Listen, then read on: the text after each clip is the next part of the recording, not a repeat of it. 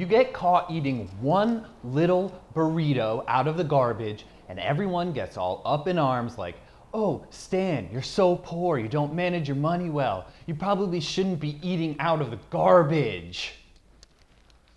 It's true though. I am poor as shit. Oh, is that a band aid? Ugh.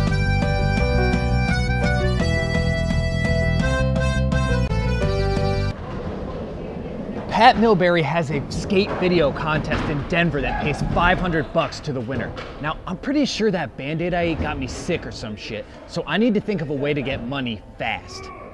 I'm gonna film a skate video with Nick Visconti and Bobby Meeks and exploit them for the money.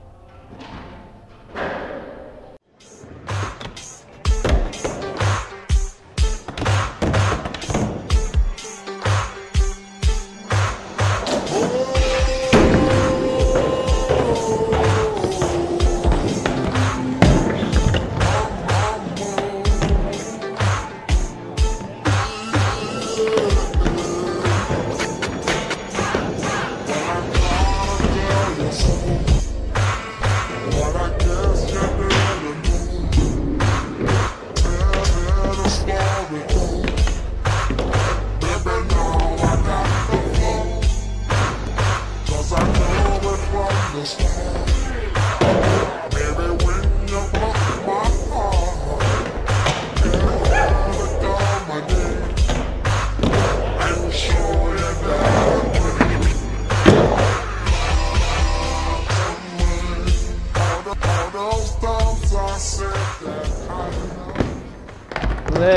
Brooke, Brooke, come here. What?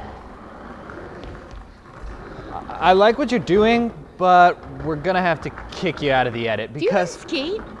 listen, if we keep you in the edit, we're never gonna win the money. Money?